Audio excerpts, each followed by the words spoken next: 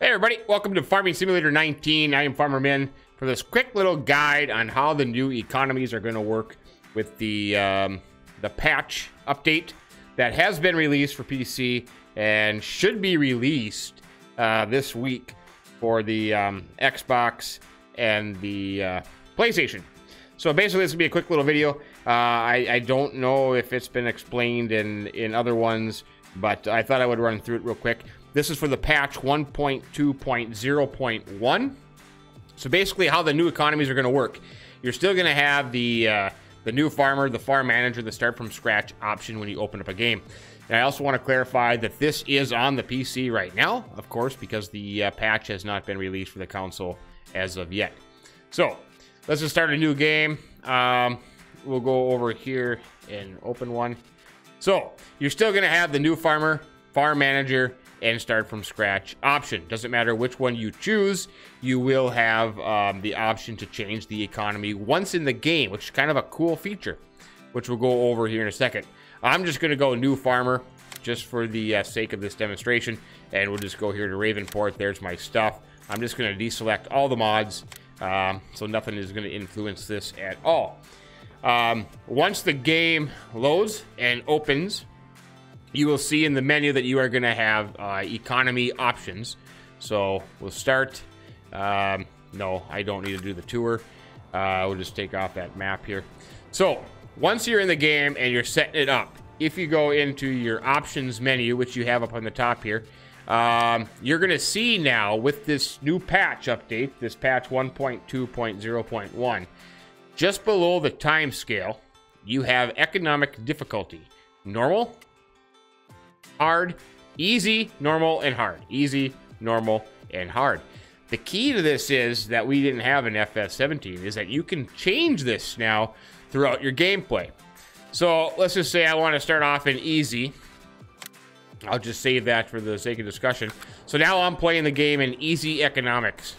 Um, so if I go, let's look at the prices. So if I go into the prices, um, let's just scroll across here and look at some. Wheat, um, 1157 uh, barley or yeah barley 1138 oats 1781 1983 up here is the highest for um, oats. Canola wow look at that 2070 sunflowers 2228 um, scroll across here soybeans 3000 bucks for soybeans. Um, corn we have 1304 potatoes 615 is the highest. Sugar beets, 389. Look at that. Here's the big thing that I had a video on earlier. Cotton, 4,200 bucks for cotton.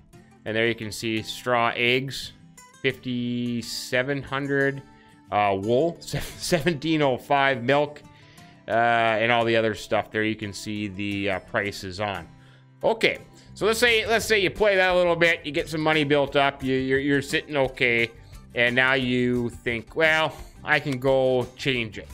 So I'm going to switch to normal. I'm just going to save the game. I don't know if it makes a difference. It probably doesn't.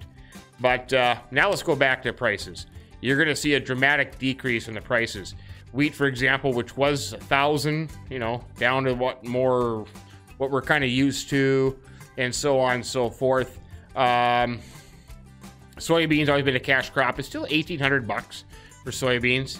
Um, wool, which was for, over 4,000, is now 2,500, and so on and so forth. So the prices have gone down quite a bit. Okay, now let's say you're playing that. You say, okay, well, I made a bunch of money. That's too easy. Um, I'm going to go on to difficulty. So I'm going to go on to hard mode. And we'll go check out the prices on hard mode. So now they're they're they're not as dramatic of a drop, but look at this, wheat down to 385.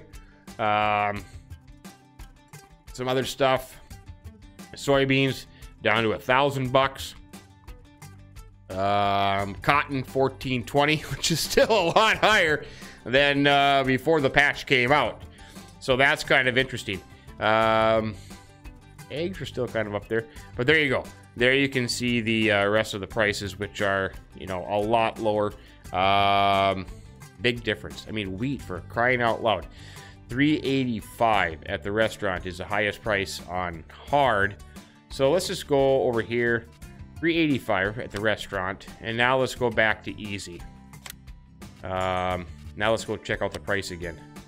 Wheat at the restaurant is now 1157. 800 bucks roughly higher per 1000 liter uh, between the three different levels. Now, hey, play whatever way you want. Nobody, you can play whatever way you want. Nobody can tell you how to play this game. It's only up to you. Uh, if you choose easy, you're gonna get heck of a good prices. You know, normal. So you know, normal would be I think above average, and hard is gonna be well, like it says, hard. But the key thing to remember is that the econ- economic difficulty is to be changeable throughout the game, and it's in this setting. So you don't decide that when you open up a new save game.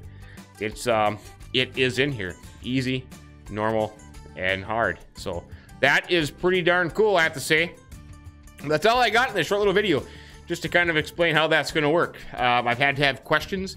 Uh, some people have had asked me questions on how it works.